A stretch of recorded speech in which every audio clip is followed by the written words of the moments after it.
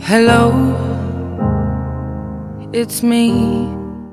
Hello everyone! Good morning! I just woke up and washed my face and I want to give my skin some special TLC this morning with the carbonated bubble clay mask because my mom has been on my case about my skin lately. She'll ask me things like Hey, what do you think about getting a facial? Have you been washing your face every day? 피부 관리 한번 받아볼까? and I'm just like, damn, Oma, what you trying to say about my skin? But that's okay, because she loves me. so I'm gonna be trying out this bubble clay mask for the first time and I'm really excited, so let's begin! Once you open up the jar, you'll see that it comes with a mini spatula that you should use to scoop out the product because if you use your hands, you may end up contaminating the whole jar with any germs that may be on them. This clay mask has a really creamy consistency so it was really easy for me to spread this out evenly all over my skin. And afterwards I realized that in the future I probably wouldn't have to use as much of the product because it does expand a lot in volume as the clay mask bubbles up.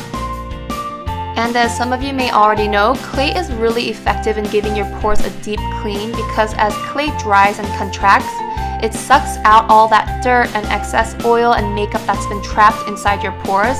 And what's special about this carbonated formula is that as it bubbles up, it stimulates and exfoliates the dead surface skin cells on your face, which helps to tighten and smooth out your skin, giving it an overall more youthful and brighter appearance.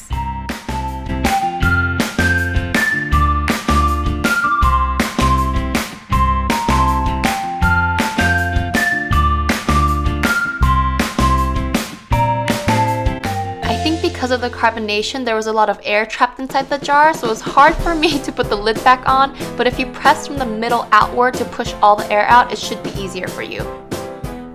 The clay mask starts bubbling right away, and it's kind of cool because you can feel and hear the tiny bubbles forming and fizzing and popping. And I kind of felt like a puffer fish because as the clay mask bubbles up, your face just looks like it's getting bigger and bigger. This is what it looks like after about 5 minutes of bubbling. It looks like a monster! and you have the option to rub this in. Ooh! To give your face an extra um, step of exfoliation. So I'm gonna finish rubbing this and then I'll go wash it off and I'll be right back.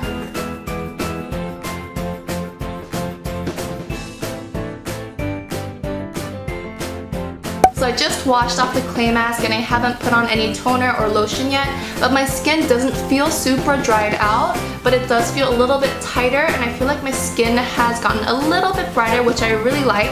So I would definitely recommend this to you guys. I think it's a really fun product to try out with a group of friends. And always, I want to thank you guys for visiting my channel. If you guys enjoyed this video, don't forget to give it a thumbs up and hit subscribe for more videos.